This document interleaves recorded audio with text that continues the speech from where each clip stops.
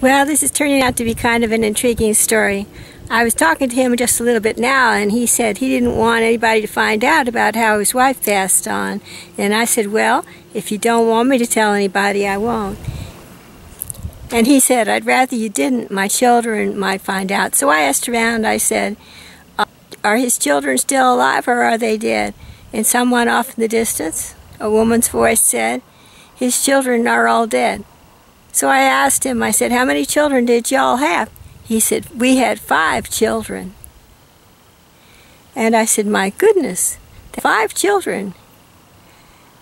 And uh, so I asked around, I said, Are there any children of his children still alive?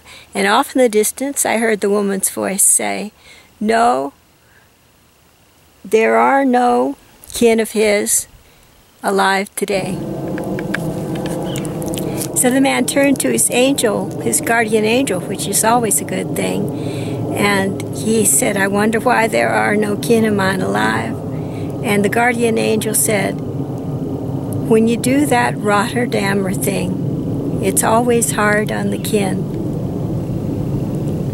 Well, I thought about it, and I wondered if it's all right to tell that story.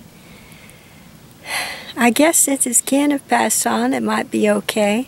And since I really don't know his name, uh, and it also might help out other families, help them uh, to avoid domestic violence and for the sake of their children and their children's children.